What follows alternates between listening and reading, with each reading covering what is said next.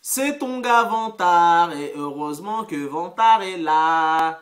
C'est ton gars Vantard qui revient une fois de plus again and again. Heureusement que Vantard est là pour te mettre en garde et pour te faire économiser ton oseille.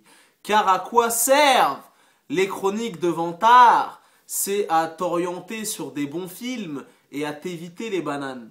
Et plus le temps avance et plus je reçois des messages sur Twitter, sur Facebook, sur ma chaîne YouTube où des gens me disent Vantard, merci Grâce à toi, j'ai économisé de l'oseille et tout parce que tu as vu de nos jours, euh, bon, le, cinéma ne doit pas être consommé comme, euh, comme on mange un hamburger dans, dans un fast-food. Tu vois ce que je veux dire? C'est de l'art, c'est de... Mais bon, euh, certes, c'est de l'art, mais bon, tu as vu, les temps sont durs. Et une place plein pot, mon gars, je peux te dire que ça coûte cher. Donc des fois, si tu vas au cinéma avec ta meuf, ta meuf veut les popcorn, ta meuf veut la glace Häagen-Dazs, ta meuf veut le iced tea, le coca.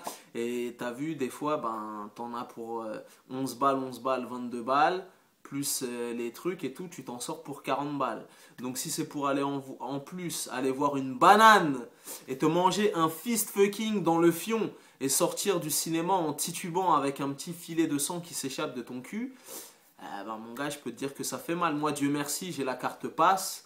Depuis 2003, ça fait 11 ans que j'ai la carte passe. Et devant tes yeux même se tient l'un des gars les plus prolifiques et, l'un des cinéphiles les plus raffinés du, du 21e siècle.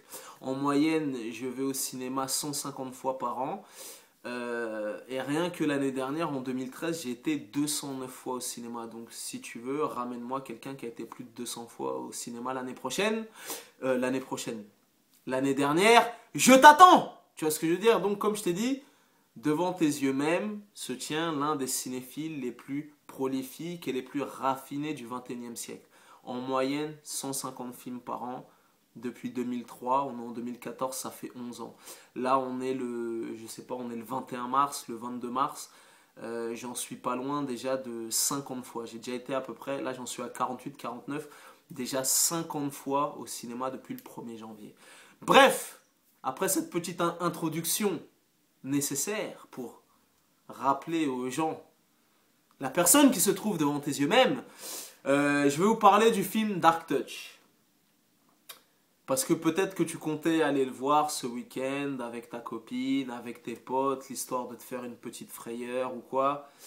Eh ben mon gars, rebrousse chemin. Rebrousse chemin, pars en moonwalk, pars en arrière, prends ton oseille, remets-la dans ta poche et tu me remercieras plus tard. Euh, donc, moi personnellement, j'attendais rien de, de, spécial concernant ce film.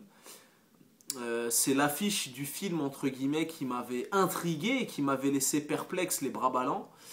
Je suis en vacances, euh, j'ai du temps libre devant moi, j'ai la carte passe, donc je me suis dit bon l'affiche est pas trop mal.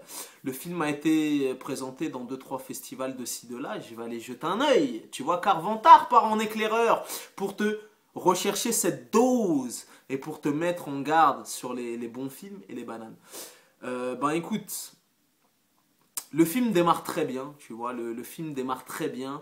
Ambiance glauque, macabre, euh, avec une petite euh, qui joue le rôle titre dans, ce film, un peu une petite à la Esther. Je sais pas si tu as vu le film Esther. Tu vois, le genre de, petite avec une espèce de tête joufflue que tu as envie de gifler, une tête à claque, tu as envie de la massacrer, tout ça et tout, tu vois. là, au niveau du casting, ils ont vraiment bien choisi euh, sa gueule. Donc le film démarre bien ambiance glauque, ambiance macabre, une petite qu'on a envie de gifler, tête à claque et compagnie, euh, une bande son euh, pareil, macabre, vraiment une bande son qui te donne euh, la chair de poule, des surfroides et compagnie. Et puis après, au fil du temps que le, film avance, mon gars, je peux te dire que j'ai littéralement décroché. Donc voilà, j'ai pas trouvé le scénario top top. Euh, j'ai trouvé le film euh, assez répétitif dans les, petites séquences euh, de, frayeur. Donc ça démarre très fort. Les, les 25 premières minutes après, j'ai littéralement décroché. Mais quand je te dis décroché, j'ai vraiment décroché. Hein. Je regardais d'un œil. Il y, y avait un petit problème de rythme, des longueurs, un scénario un petit peu abracadabrantesque à dormir debout. Et du coup, ben, j'étais sur mon iPhone, euh, je regardais Twitter, Facebook, je regardais les, résultats du foot et compagnie.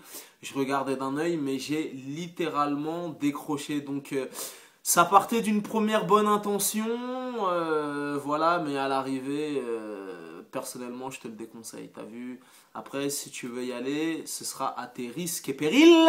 Mais tu ne pourras pas dire que dans cette vidéo, je ne t'ai pas prévenu, tu vois, c'est ça. Parce que souvent, et je fais des mises en garde, souvent je fais des mises en garde, et les gens reviennent sur mon Twitter, les gens reviennent sur mon Facebook, euh, ou m'envoient un message euh, dans les commentaires sur YouTube et dit putain Vantard j'aurais dû t'écouter, je me suis mangé une banane, putain j'ai perdu ma thune, nanani, ben eh, mes chroniques ça sert à ça, hein. après si tu veux y aller, libre à toi, mais tu pourras pas dire que je t'ai pas prévenu.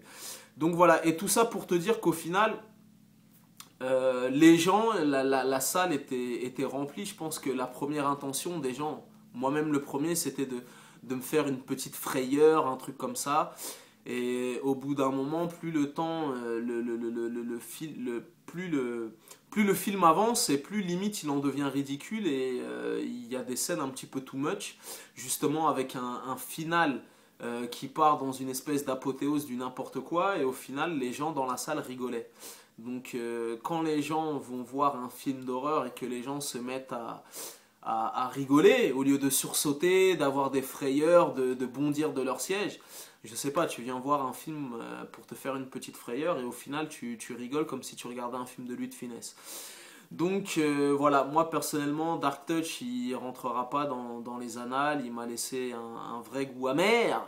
Et personnellement, je vous le déconseille. Donc après, c'est comme vous voulez, libre à vous. En tout cas, vous ne pourrez pas dire que je ne vous ai pas prévenu. Et tu connais ce dicton légendaire? Les goûts et les couleurs, ça ne se discute pas.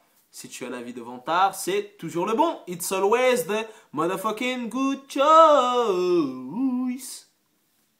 Peace and love.